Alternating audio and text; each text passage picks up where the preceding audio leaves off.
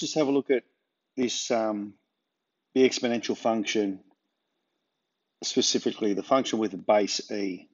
Okay, so these graphs are drawn exactly the same way as a base 2 or a base 10.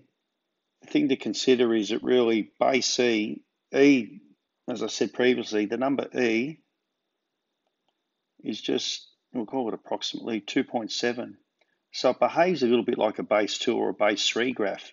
So you have a look at the, the, um, the graph down here. There's e to the x here. So again, go through 0, 1. It approaches the x-axis um, as an asymptote, increases steadily as uh, x gets bigger. So it has exactly the same properties as the any base function, 2 to the x, 3 to the x, 10 to the x. Um, so we treat it in exactly the same way. I guess the reason why the e to the x function is used so regularly um, is when we get to our log laws, we know then that if we want to rearrange our graph, we get our log base e, which is our natural log function. Okay, so let's have a look at some applications. Okay, so let's have a look at some of the transformation processes. So just remember there's a, there's a couple of ways we could approach this. Let's take our, I guess, x dash y dash approach. Let's consider the original graph, y equals e to the x, and we've got our new graph, y dashed equals 2e to the 3 x dash minus 1. So let's rearrange this right-hand one, y plus 1 on 2 equals to the 3 hex to have exactly the same form as our previous.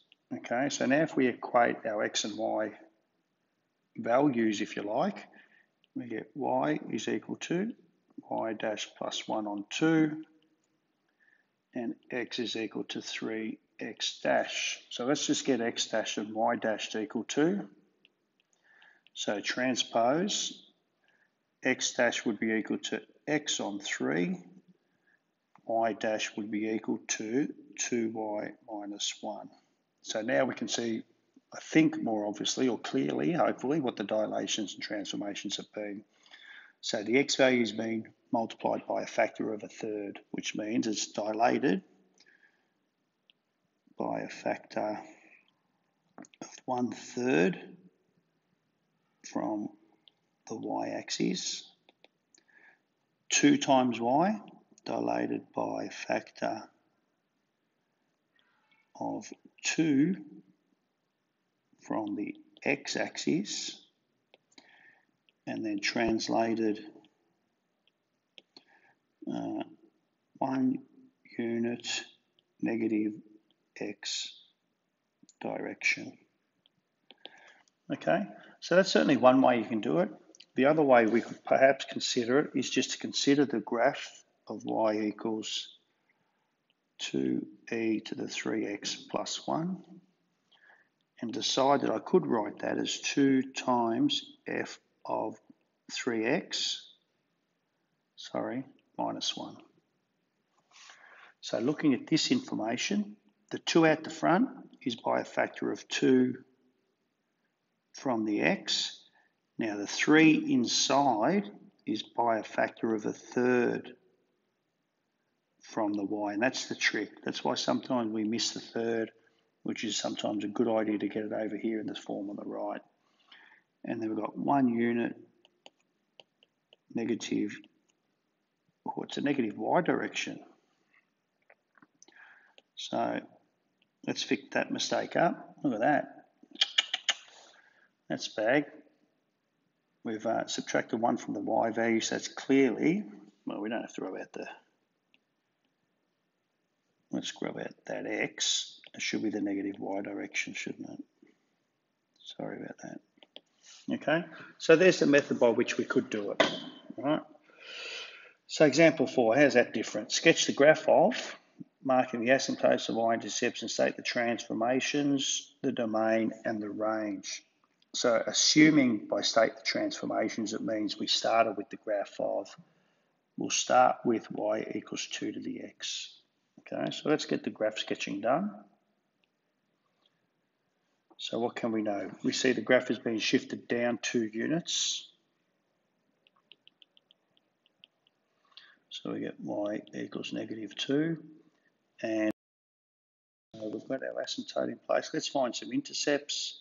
So if um, x is equal to 0, y is equal to 2 to the minus 1 minus 2, which is a half minus 2, which is which is equal to negative 3 on 2. So I get the point uh, 0, negative 3 on 2, which seems to make sense about there. Um, and then what we've got, we've got our x-intercept, so let's put y equal to 0.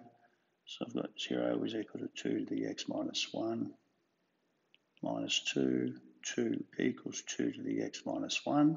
Since the bases are the same, we can equate the powers. So 1 is equal to x minus 1, so x is equal to 2. So I get the point 2, 0, say about there. And negative 3 on 2. And then our graph obviously um, has that shape about it. Yeah. So the domain and range, domain is equal to R. The range is from negative 2 up to positive infinity. Uh, so we've done that. Give exact answers, we've done that.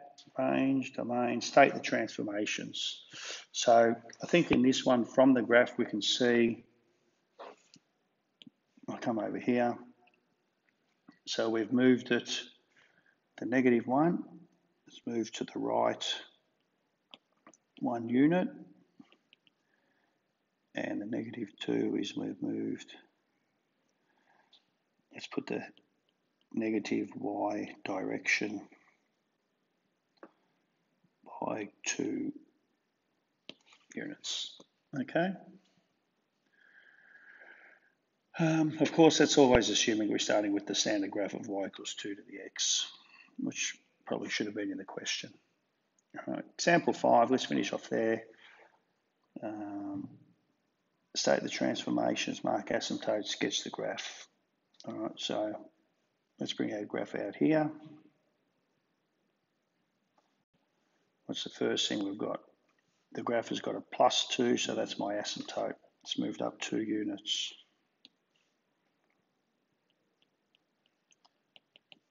So we've got y is equal to 2. So e to the minus x, so e to the minus x turns the graph from, let's go in here, so there's e to the x, e to the minus x brings it that way, and then a minus sign there flips that upside down so it goes that way. So that's minus e to the minus x there. So let's confirm that by getting a few intercepts. So if we get our y-intercept, put x equal to 0, and I get 2 minus e to the 0, which is 1, so it's equal to 1. So I get the point 0, 1, which seems reasonable. And if I want to get my x-intercepts, put y equal to 0, I get uh, 0 is equal to e to the minus x, sorry, e to the minus e to the minus x plus 2. So I get e to the minus x is equal to 2. So again, log base c of 2 is equal to minus x. So let's make that a plus and that a negative. So e to the 2 is positive, negative log e to the 2 is negative, so it's over here somewhere. So that sort of fits in. That sort of fits in here with that shape that we were discussing. So we approach the asymptote, come down. When we decide the points were, that's at the point 0, 1, and that's the point negative natural log of 2 zero. Uh, domain and range. So hopefully we can see over here, the domain is again uh, the range is equal to, down there at negative infinity, up to positive 2 with a round bracket. Check using the CAS, so make sure you give that a go. Okay, so both of those. Um, no, not so much both.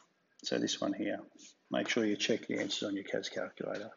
So key things to remember, the maximal domain is R, the range is just dependent upon how far up we might move our graph, or down for that matter.